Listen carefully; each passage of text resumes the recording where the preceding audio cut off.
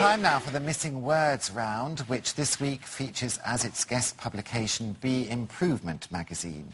Inside you'll find a free CD featuring Sting.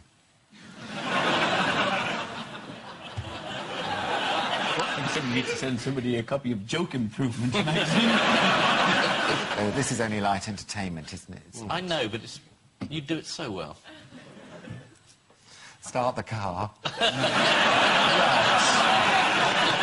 Do I hear wedding bells? is Do I hear wedding bells? MP Do I hear wedding bells? No, you don't. I I can hear them. MP Euphoric after Cheeky Girl what?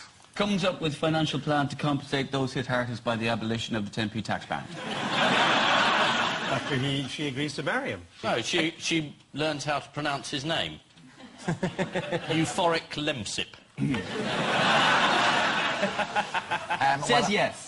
I've heard, well, they've already said it, but yes. Oh. It says yes. Oh, well done. Well, yeah, but they didn't say says yes, which you I don't did, have to and be that's what literal. it said. It's just Oh, I see. roughly on oh, we're just right paraphrasing now, are we? Thank Fine. No, you did say it says yes. Yeah. Yeah. I thought you said, did he? there. Andrew said it. Why don't you marry Andrew? You can't marry Andrew, he's going to marry Ian.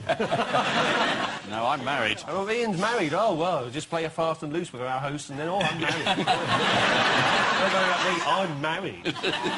Did you see Boris was questioned on one of those things? Someone said to him, have you ever had sex with a man? And he was trying to think how tactfully to answer it, and he said, not yet.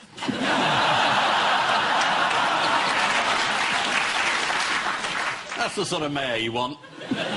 If you want that sort of mayor, obviously.